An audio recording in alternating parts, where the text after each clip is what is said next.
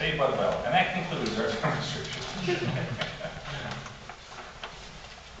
Um, I'm gonna do my head thing in a little bit here, but I, uh, uh, for some reason, I, I hate doing the heads.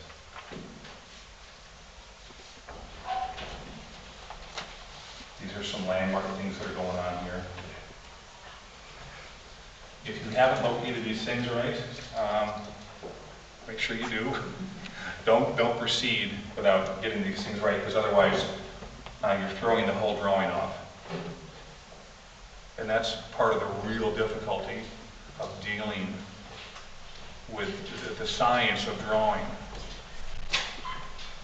See, my lines are off, but if I compare it to her, her line right there, that separates the torso from the, or the, the rib cage from the torso right here, it's real obvious to see